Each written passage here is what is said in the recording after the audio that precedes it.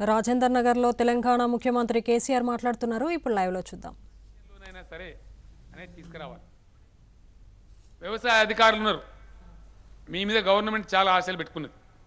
మీరు మంచి పని చేస్తే నిన్న మీరు చూసినారు భూ రికార్డులు బాగా చేసిన రప్పి తహసీల్దార్ అందరికీ రెవెన్యూ వాళ్ళందరికీ నేను ఒక నెల జీతం అదనంగా ఇచ్చిన. పని చేసినప్పుడు శభాష్ అనాలి. కాబట్టి అన్నం. అదేవిధంగా మీరు పనిచేస్తే మీరు విజయం సాధిస్తే మీకు కూడా రేపు రేపు ఇన్సెంటివ్స్ ఉంటాయి. ముఖ్యంగా వ్యవసాయ విస్తరణ అధికారులు ఐదు వేల ఎకరాలకు ఒక్కొక్కరు ఎవరైతే ఉన్నారో అక్కడ దయచేసి మీరు ఇమీడియట్గా చేయాల్సిన పని అక్కడ మీ అధికారులు మీ ఎమ్మెల్యే గారు మీ ఎంపీ గారు మీ మంత్రి గారు స్థానికంగా ఉండే ప్రజాప్రతినిధులను సమన్వయం చేసుకొని ఒక ఎకరం ఎకరం పైచీలకు రైతు వేదిక నిర్మాణం గురించి డొనేషన్ రూపంలో సాధించే ప్రయత్నం చేయాలి. మంచిదేనా ఇది? ఒక స్టెప్ ఎక్కుతాం. రెండవది పంట ఏది వేస్తారో దయచేసి ముందే తెలవాలి. అంటే మండల రైతు సమన్వయ సమితికి ఏ మండలంలో మీ మండలంలో ఎంత పంట వేయబడి ఉన్నది అనేది మీకు ఐడియా ఉండాలి. ఈ సంవత్సరం మన మండలంలో పత్తి పంట ఎంత వస్తుంది? మొక్కజొన్న పంట ఎంత వస్తుంది? వరిధాన్యం పంట ఎంత వస్తుంది? అనేది మీకు తెలిసి ఉంటే మీరు ఏం చేస్తారు? మార్కెట్ కమిటీలో తయారు చేస్తారు. సిద్ధం చేస్తారు. మీ మార్కెట్ కమిటీ చైర్మన్ గారితో మాట్లాడతారు. అమ్మాయిగో ఈ పంట ఇంత వస్తుంది. ఈ బాట్లు ఉన్నాయా? తక్కలు ఉన్నాయా? కాంటాలు ఉన్నాయా? అమాలోలు ఉన్నారా? అని చెప్పాలి. పంట వచ్చేది మనకు తెలిసి ఉండాలి ఒకటి. రెండు వచ్చిన పంట ఎవడు పడితే వాడు ఎటు పడితే తీసుకొని రావద్దు మార్కెట్కు. గ్రామాలను మీరు పంచాలి. ఇగో ఈ మూడు రోజులు మొత్తం పంట వచ్చిన సీజన్లో పది రోజులు పదిహేను రోజులు ఇరవై రోజులు కొంటారు. ఆ ఇరవై రోజులలో ఏం చేయాలి? ఎవడు పడితే వాడు మన ఇష్టం వచ్చేట్టు రాకుండా గ్రామ రైతు సమన్వయ సమితులతో మీరు కోఆర్డినేట్ చేసుకొని ఏం చేయాలా? ఇగో ఈ నాలుగు గ్రామాలు ఈ మూడు రోజులు మీరు ధాన్యం తేవాలి. మిగిలిన నాలుగు గ్రామాలు ఇంకో మూడు రోజులు తేవాలి. అంటే ఎక్కువ తక్కువ రారు ఇబ్బడి ముబ్బడిగా రారు. వచ్చిన వాళ్ళు అర్ధ గంట నలభై నిమిషాలు గంట లోపల కాంట్రాక్ట్ చేయించుకుంటారు పైసలు జేబులో పెట్టుకుంటారు ఇంటికి పోతారు. కరెక్టేనా? మంచిదేనా ఇది? ఇది కినబడతలేదన్నా. చేయాలి కదా? మీరందరు చేయాలి. నేను కాదు నేను ఏం చేయాలి? నేను ఆడుకోవాలి నేను గద్వాలకు పోవన్నా కాగజ్నగర్ పోవన్నా సూర్యాపేట పోదునా? తాండూరుకు పోదునా? డబల్ యాక్షన్ చేస్తుందా? ఇప్పుడు మీ ఎమ్మెల్యే ఉన్నాడు ఎన్నెక్కల పోతాడు మీ మంత్రి మా పోచారం శ్రీనివాసరెడ్డి గారు ఏం చేయాలి? ఎన్నెక్కల పోవాలా సుఖేందర్ రెడ్డి గారు ఎక్కడ పోవాలా? చేయలేం.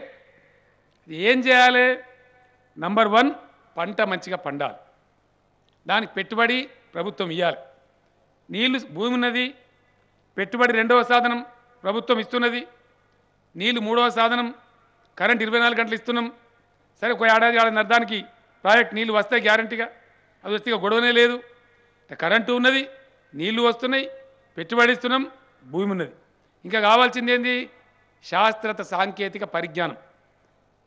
టైంకు విత్తనాలు అందుబాటులో ఉండాలి. ఉన్నాయి. ముస్తర్ శ్రీనివాసరెడ్డి గారు. ఎరువులు అందుబాటులో ఉండాలి. ఆల్రెడీ ఆ సిస్టమ్ డెవలప్ అయింది. ఇప్పుడు ఎరువుల కొరత లేదు. ఎరువులు అందుబాటులో ఉంటాయి. మీకు తెలుసు ఉన్నాయి. గతంలో లాగా లేదు. ఇప్పుడు ఉన్నాయి. అట్లే ఉంటాయి. ఎరువులు ఉన్నాయి.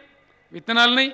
పెట్టుబడి ఉన్నది భూమి ఉన్నది ఇరవై నాలుగు గంటల కరెంట్ ఉన్నది మీకు ఐదు వేల ఎకరాలకు ఒక అధికారి ఉన్నాడు రికార్డు చేసి అందిస్తాం. మనం అనుకుంటే జూన్ నెల నుంచి వచ్చే వర్షాకాలం పంట నుంచి తెలంగాణ రాష్ట్రంలో ఏ మండలంలో ఏ గ్రామంలో ఎన్ని ఎకరాలలో ఏ పంట ఉన్నది అని చెప్పే పరిస్థితి రావాలి. బషీర్బాగ్లో సుఖేందర్ రెడ్డి గారి కార్యాలయంలో ఆయన కంప్యూటర్ మీద బటన్ కొడితే ఏ జిల్లా అంటే ఆ జిల్లా ఏ మండలం అంటే ఆ మండలం ఆయన చూసే పరిస్థితి ఉండాలి. ఈ లెక్క పారసారథి గారి వ్యవసాయ శాఖ కార్యదర్శి గారి టేబుల్ మీద ఉంటుంది. పోచారం గారి టేబుల్ మీద సెక్రటరియట్లో ఉంటుంది. నా టేబుల్ మీద ముఖ్యమంత్రిగా ప్రత్యేకమైన వ్యవసాయ కంప్యూటర్ ఉంటుంది. దానిలో నా టేబుల్ మీద కూడా ఉంటుంది. అప్పుడు ఏమవుతుంది మార్కెట్ల గొడవ బంద్ అవుతుంది ఇక పంట వచ్చుడు చురువు మొత్తం కమిషన్ ఏజెంట్లు సాగుకాలంతా టెలిఫోన్లు చేసుకొని బదులాయించుకుంటారు దీనిలో తేమ గింతున్నదనాలే. వాడు ఏలు పెట్టి చూస్తాడు వాడు మీటర్ పెట్టి చూస్తాడు కథ కథ చేయాలి. ఎటువంటి మనం నెత్తి కొట్టాలి. ఏమవుతుంది ఎక్కువ తక్కువ మంది వేస్తాం. కాంట కాదు. రాత్రి వండాలి. రాత్రి బళ్ళున వాన పడుతుంది. వానకు మళ్ళీ తడిసిపోతుంది. నేను తడిసిన ధాన్యం కొన్నాను మళ్ళీ వాడు. ఇదంతా బాధ పోవాలంటే నియంత్రిత విధానంలోనే పండిన పంట రైతులు మార్కెట్కు తేవాలి. నియంత్రిత విధానం అంటే ఊళ్ళు పంచుకొని ఊర్ల వారిగా రావాలి. వచ్చిన రైతు సాయంత్రం చార్ బజే పాంచ్ బజే లోపల కాంటాయి. ఎక్కడో అక్కడ వెళ్ళిపోవాలి అక్కడనే ఉండు పండుడు ఆ గోస అంతా బంద్ కావాలి. ఇక అసలు కథ. కనీస మద్దతు ధర.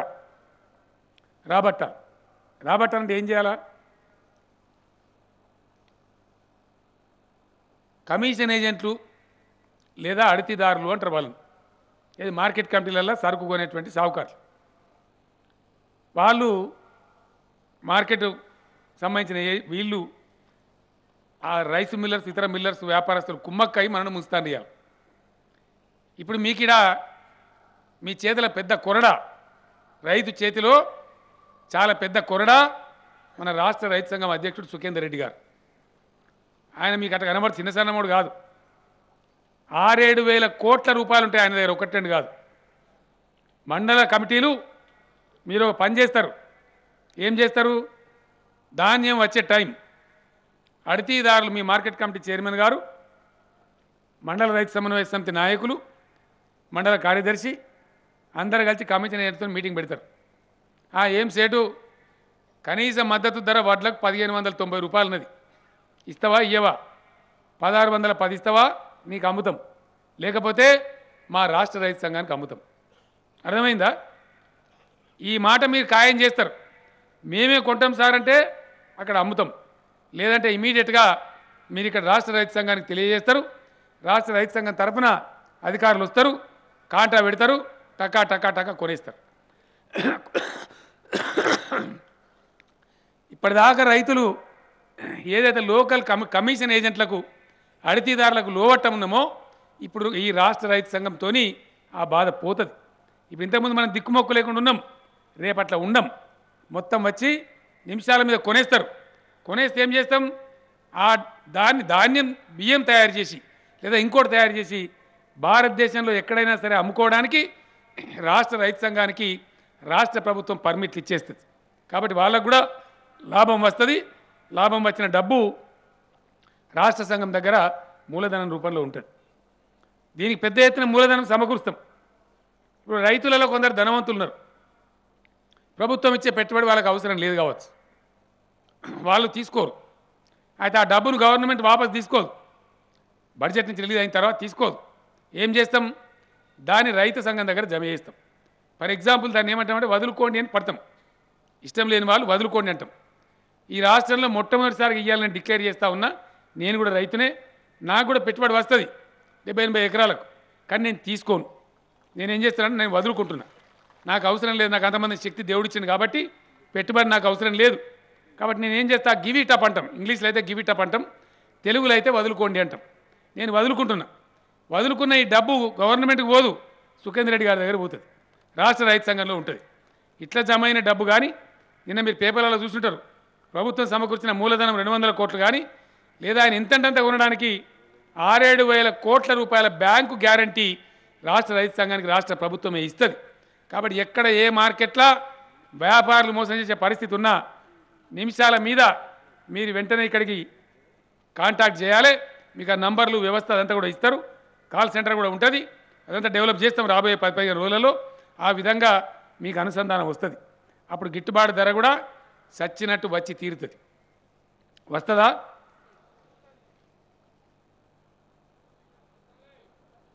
ఎండకు బేదారైందా ఇది తొలుసూరు ఎండలకు బేదారినట్టు మీరు అప్పటి వస్తుందా ధర? వచ్చినట్టు చేద్దామా? ఇట్లా పట్టుబడితేనే అవుతుంది లేకపోతే కాదు బంగారు తెలంగాణ వట్టిగా అవుతుంది కూర్చున్న కాడ మాట్లాడితే అవుతుందా ఎక్కడున్నోళ్ళం అక్కడ జిద్దు పట్టి పట్టుబట్టి పిడికిలు బిగిస్తే దాని తాత జేజం అవుతుంది ప్రతి మండలం ప్రతి గ్రామం కదిలేటువంటి ఏర్పాటు కావాలి. దీంతో అంటే రెండు సాధిస్తున్నాం మనం ఇప్పుడు. పంటలు వేసే కాడ జాగ్రత్తలు. శాస్త్రీయ విజ్ఞానం. సకాలంలో ఎరువులు విత్తనాలు కల్తీ లేని విత్తనాలు మంచి పంటలు పండియడం దాని తదనంతరం మార్కెట్కు నియంత్రిత విధానంలో రావడం దాని తదనంతరం పంటకు ధర రాబట్టడం ఇంతవరకు చేస్తాం. నిజాయితీ మన ఇంటి ముందుకు ఒక గంగెతులైనతే షార్టెడ్ వడ్లు పెడతాం. రాబోయి సందమామని ఒక ఆర్మాన్ని పట్టుకొని వస్తే షార్టెడ్ వడ్లు పెడతాం. ఎంతోమంది మన ఇంటి ముందరకు వచ్చి మన దీవెన పెట్టిపోతారు అటువంటి దాతృత్వం దయాగుణం ఉన్నటువంటి జాతి మన రైతు జాతి. కాబట్టి నిజాయితీకి ఎక్కువ స్థానం పెట్టాలి. మన రైతు సమన్వయ సమితిలు పైరవిలకు ఆస్కారం రానియద్దు.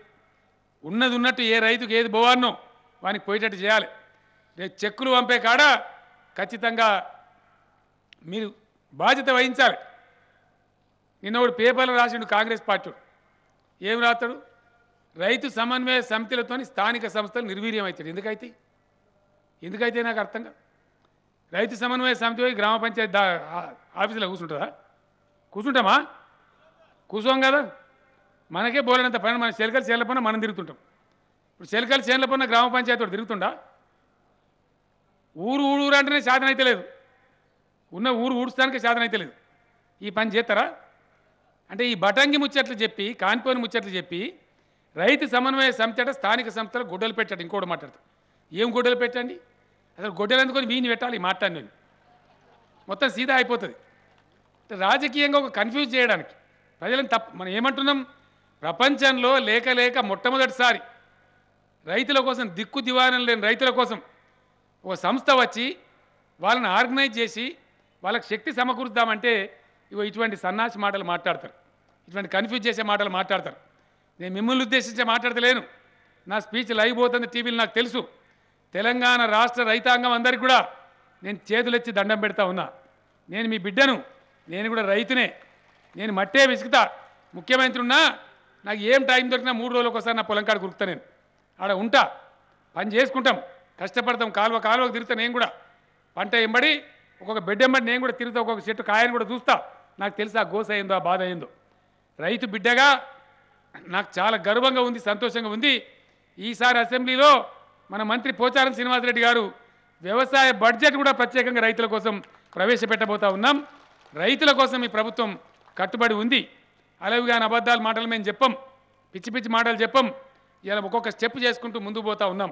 అదే పద్ధతిలో రైతాంగం యొక్క దుఃఖం కన్ కంప్లీట్గా కడతీర్చే వరకు రైతులు బ్రహ్మాండంగా ఆర్థికంగా బాగుపడే వరకు ప్రతి ఎకరాకు సాగునీళ్ళు తెచ్చే వరకు కమిట్మెంట్తో పనిచేసుకుంటూ ముందుకు పోతాం. మీరందరూ కూడా దయచేసి ఆషామాషిగా ఏదో వచ్చినాం కేసీఆర్ గారు చేసి మొత్తుకొని పోయినరు అయిపోయిందని అనుకోవద్దు. మీరు చాలామంది గులాబీ పేపర్ల మీద ఆకుపచ్చ పేపర్ల మీద మీ ప్రశ్నలు కానీ మీ సలహాలు కానీ రాసిరని చెప్పి నేను అనుకుంటా ఉన్నాను. నా ఉపన్యాసం కాగానే మనం అందరం కూడా భోజనానికి వెళ్ళిపోదాం. గంటలోపు తిరిగి అందరం వద్దాం. మీ యొక్క మొత్తం క్రోడీకరణ చేసి ప్రశ్నల సమాధానాలు గంట రెండు గంటలు చెప్పుకొని ఆ తర్వాత సభను ముగించుకుందామని నేను తెలియజేస్తా ఉన్నా. మీకు బోరు కొట్టినా మళ్ళొకసారి నేను మనం చేస్తూ ఉన్నా. ఒకటి కరెంటు రెండు భూమి మూడు యంత్రాలు నాలుగు సకాలంలో విత్తనాలు ఎరువులు కరెంటు ఇవన్నీ కూడా కావాలి. వాటిని సమకూరుస్తూ ఉన్నాం. పెట్టుబడి కావాలి దాన్ని సమకూర్చుకుంటా ఉన్నాం. మంచి పంటలు పండాలి శాస్త్రీయ పరిజ్ఞానం మీకు అందించడానికి హార్టికల్చర్ డిపార్ట్మెంట్ కానీ అగ్రికల్చర్ డిపార్ట్మెంట్ కానీ తయారుగా ఉంది. వాళ్ళు రెడీగా ఉన్నారు. అక్కడ ఇబ్బంది లేదు. ఇక తదనంతరం మార్కెట్కు మార్కెట్కు తెచ్చే విధానంలో మీరు దయచేసి దానిలో కూడా సమన్వయ బాధ్యత తీసుకోవాలి. అక్కడ గ్రామాలన్నీ ఒకసారి తీసుకురాకుండా నియంత్రిత విధానంలో తెచ్చేటట్టు మార్కెట్లో అల్లకల్లోలాలు జరగకుండా మీరు చేయాలి. ఇప్పుడు కూడా ఇప్పుడు కూడా నేను మీతో మనవి చేస్తా ఉన్నా ఈ యాసంగి పంటలోనే మీరు మొదలు పెట్టండి. ఖమ్మం జిల్లా వాళ్ళకు ఇక్కడ ఉన్న వాళ్ళకి రేపు అక్కడికి వస్తారో నాకు తెలియదు. లేదా వరంగల్ జిల్లా వాళ్ళకు జనగామ వాళ్ళకి ఇక్కడే ఉన్నారు. మార్కెట్కి ఏదైనా ఒకటేసారి రాకుండా మీరు ఇప్పుడే మొదలుపెట్టండి గ్రామాల వారిగా మనోళ్ళతో మాట్లాడి ఈ యాసంగి పంట నుంచే నియంత్రిత విధానంలో ధాన్యం తెచ్చే పద్ధతిని మీరు అవలంబించండి. మార్కెట్ మంత్రి గారు మార్కెట్ సెక్రటరీలకు ఆదేశాలు కూడా ఇస్తారు. మీతో వాళ్ళు సమన్వయం చేస్తారు. ఆ ప్రకారం ఈ పంట నుంచే మీరు ప్రారంభిస్తే నెక్స్ట్ ఇయర్ మనకి ఈజీ అవుతుంది కాబట్టి ఈ యాసంగి నుంచే మీరు యాక్టివ్ కావాలి. రైతులు నియంత్రిత విధానంలో ధాన్యం తెచ్చే పద్ధతి కూడా నేర్పాలని మిమ్మల్ని కోరుతా ఉన్నా. ఈ రకంగా ఈ స్టెప్స్ అన్ని మనం తీసుకున్నప్పుడు దేశ విదేశాల నుంచి కూడా శాస్త్ర సాంకేతిక విజ్ఞానం తెచ్చుకున్నప్పుడు బ్రహ్మాండమైనటువంటి పంటలు మనం పండించగలుగుతాం. మనం అనుకునే బంగారు తెలంగాణ ఖచ్చితంగా సాధించగలుగుతాం. మీకు వెన్నుదన్నుగా వ్యవసాయ యూనివర్సిటీ ఉంటుంది. వ్యవసాయ యూనివర్సిటీ గతంలో నేను వస్తే చాలా దోడు దోడు కనబడేది. ఇవాళ వస్తే కొంచెం కలకల్లాడుతూ కనపడతా ఉన్నది. నాకు కూడా సంతోషం కలిగింది. ఇప్పుడు తెలంగాణ ఆధ్వర్యంలో ఉంది కాబట్టి మంచిగా కనపడతా ఉంది. అంతకుముందు అంత దోడు దోడు ఉండే ఇప్పుడు బాగా అయింది వ్యవసాయ యూనివర్సిటీ ఎట్లయితే కలకల్లాడుతున్నదో వీసీ గారికి ప్రొఫెసర్లందరికీ నా మనవి తెలంగాణలో వ్యవసాయం కూడా ఇట్లే కలకలలాడాలి బ్రహ్మాండంగా ఇలా మీ ఫౌంటైన్ ఎట్లా దుంకుతున్నాయో తెలంగాణ రైతు కళ్ళల్లో ఆనంద బాష్పాలు కూడా అట్లే దుంకుతుండాలి. తెలంగాణ రైతు లోకమంతా కూడా సంతోషపడాలి. దానికి రైతు సమన్వయ సమితి కార్యకర్తలు వారధిగా నిలిచి తెలంగాణ రైతులు ప్రపంచంలో గొప్ప ధనికమైన రైతులు గొప్ప డిసిప్లిన్ ఉన్న రైతులు గొప్ప తెలివితేటలు ఉన్న రైతులు ఎక్కడున్నారంటే ఎక్కడున్నారని చెప్పాలి? తెలంగాణలో ఉన్నారని చెప్పాలి. ఒకనాడు మనల్ని అపహాస్యం చేసిండ్రు. ఒక ఆయన అయితే కట్టె పట్టుకొని చూపించింది మీకు కరెంట్ రాదని. కట్టె పట్టుకొని ఆయన ఎక్కడ పోయిండో పోయిండు. మన దగ్గర కరెంట్ బ్రహ్మాండంగా వచ్చింది. మీరు ఖరాబ్ అవుతారన్నారు. మనం ఖరాబ్ కాలే. బ్రహ్మాండంగా అయినాం. ఆంధ్రప్రదేశ్ కంటే ఎన్నో రెట్లు అపరాండ్లో ఉన్నాం. అనేక విషయాలలో భారతదేశంలోనే అనేక రాష్ట్రాల కంటే ముందంజలో ఉన్నాం. అనేక విషయాలలో పొగుడుతా ఉన్నారు వచ్చిన వాళ్ళ ఊడిపోతూ ఉన్నారు. మనం ఉబ్బిపోవద్దు పొగిడినని చెప్పి. ఇంకింత కష్టపడాలి ఇంకింత పనిచేయాలి ఇంకా మొండిగా పనిచేయాలి ఆ రకంగా చేసి ఎట్లయితే ఆనాడు ఒంటి బిగి ఉన్నో పంటి బిగి ఉన్నో తెలంగాణ తెచ్చుకున్నామో రైతాంగాన్ని గడ్డకేసేదాకా దయచేసి రైతు సమన్వయ సమితులు లక్ష అరవై ఒక్క వేల మంది లక్ష అరవై ఒక్క వేల కేసీఆర్లు తయారు కావాలని చెప్పి నేను కోరుతా ఉన్నాను దయచేసి. ఆ బలం పుంజుకోవాలి ఆ శక్తి రావాలి ఆ స్ఫూర్తి రావాలి. మీరున్నారని నాకు రంది లేకుండా ఉన్నా దీన్ని ఖచ్చితంగా నా మాట నిలబెట్టి ఇది సాధించి రెండేళ్ళలోనే గుణాత్మకమైన మార్పు మీరు చూపెట్టాలని చెప్పి కోరుకుంటూ ఇంత పవిత్రమైన బాధ్యత తీసుకున్నటువంటి రైతు సమన్వయ సమితి సైనికులందరికీ కూడా శిరస్సు వంచి నమస్కారం చేస్తూ నేను మీ దగ్గర సెలవు తీసుకుంటా ఉన్నా. జై తెలంగాణ!